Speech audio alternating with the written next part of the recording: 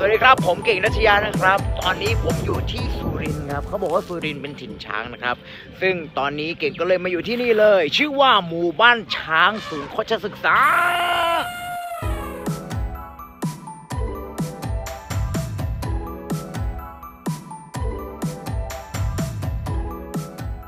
ที่นี่นะครับเขาบอกว่าเป็น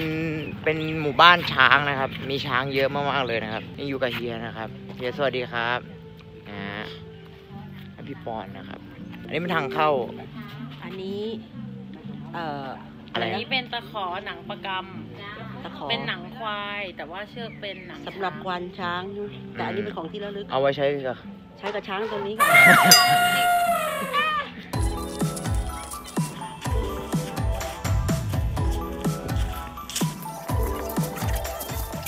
ค่าตั๋วไปเท่าไหร่ครับถ้าเกิดค่ะเข้ามา ผู้ใหญ่ท่านละ50 บาทนะคะครับผม ค่ะบัตรนี้ดูการแสดงได้พร้อมนะคะ มี 10โมงเช้ากับบ่ายสองค่ะ อยู่ได้ทั้งวันเลยเหรอใช่ค่ะ เข้าออกได้ตลอดนะคะ อย่าให้เพลงมาแล้วครับพี่ เล่นนะคะ เมื่อเราถึงแล้วนะครับ เดี๋ยวเราจะมาไหว้ศาล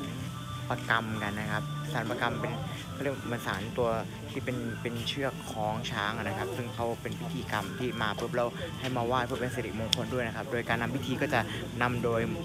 หมอช้างนะครับที่บอกซึ่งวันนี้มีทั้งหมดสามท่านด้วยกัน หมอช้างจริง ๆ นะ ไม่ใช่หมอช้างที่ดูดวง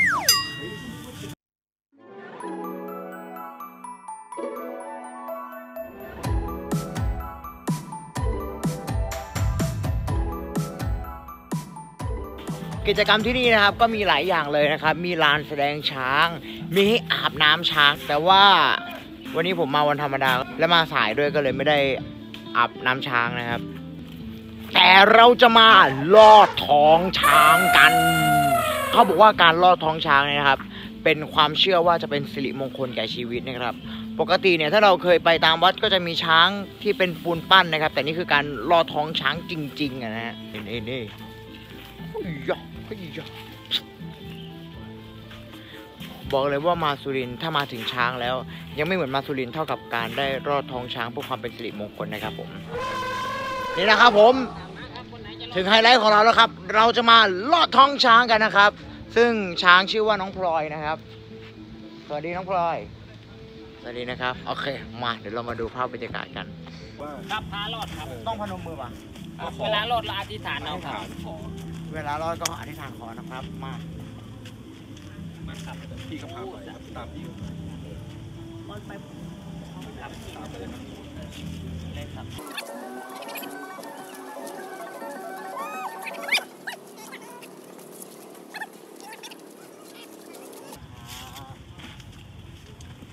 มีใครรอดไหมครับ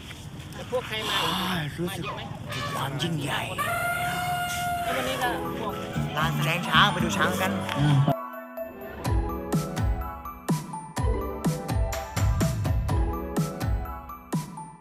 ไม่มีใคร เกิดมา อยากเป็นชู้อ้าวที่ขายเลยช้างกำลังวาดรูปอยู่พอดียิ่งเป็นไรมากครับซีนดีขนาดนี้ครับเพิ่งเปิดนี่แหละวันนี้เพิ่งเปิดกันแล้ว อ้าวต่อไปต้องเปิดทุกวันแล้วก็ดีนะ เคยใครไม่เคยเป็นศิลปินไม่รู้หรอกครับว่าเวลาเอาไว้ก่อนเวลาเขาเจอเราแล้วเปิดเพลงเรามันเขินนี่แหละ